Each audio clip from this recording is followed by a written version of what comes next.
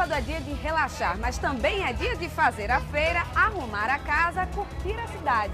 Sábado também é dia de notícia, culinária, lazer e cultura. Vamos ouvir, vamos interagir, vamos dar voz a vocês. Ao vivo, na rua, perto de você, valorizando as pessoas e contando a história do seu bairro de um jeito diferente. Se as manhãs de sábado já eram boas, agora vão ficar ainda mais descontraídas.